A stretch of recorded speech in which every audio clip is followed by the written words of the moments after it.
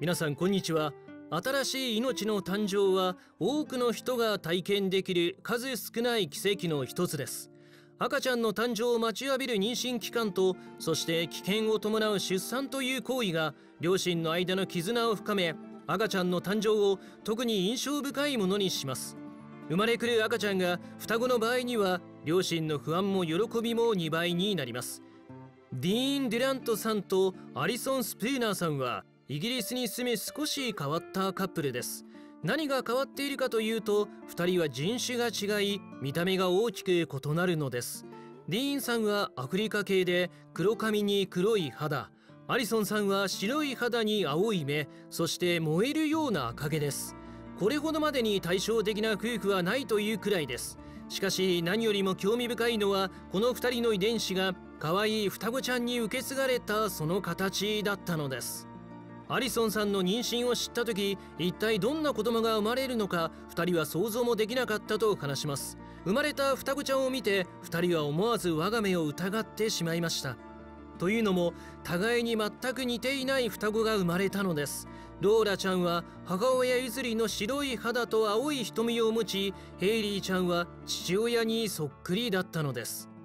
実際このように全く似ていない双子の誕生は極めて稀です。統計によると人種が異なる二卵性ソーセージが生まれる確率はわずか500分の1なのです。ディーンさんもアリソンさんもこのユニークな双子ちゃんを心から愛し大切に育てました。しかしあまりにも似ていない双子姉妹のローラちゃんとヘイリーちゃんはいつも人々の注目を浴びクラスメートからも「どうして全然似ていないの?」とうんざりするほど聞かれ続けました。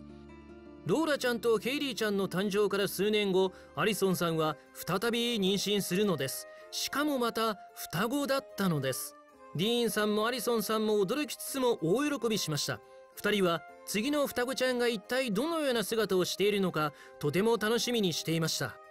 体内の双子ちゃんの位置が良くなかったのでアリソンさんは妊娠37週で出産することになりました。双子ちゃんは出生後すぐに集中治療室に運ばれました。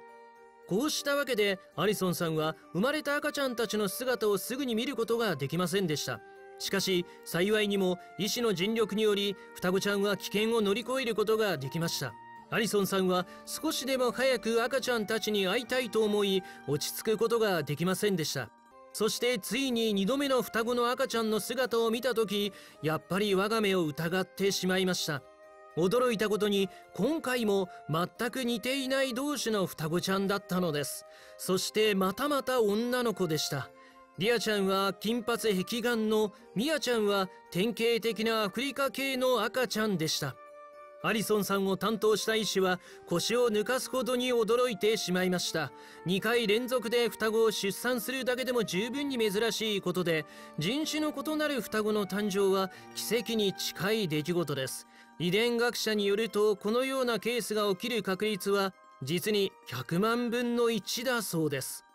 ディーンさんとアリソンさんの2組の双子ちゃんたちは幸せにとても仲良く育っています。ローラちゃんとヘイリーちゃんはミアちゃんとリアちゃんの面倒をよく見てまた妹たちはお姉さんたちを慕っています。ちなみに一緒に生まれた双子たちは特別な絆で結ばれていて互いのことをよく理解し離れていても互いの存在を感じ合うことができると言われています。どちらの双子も外見は全く違いますが不思議なことに性格がとてもよく似ているそうです。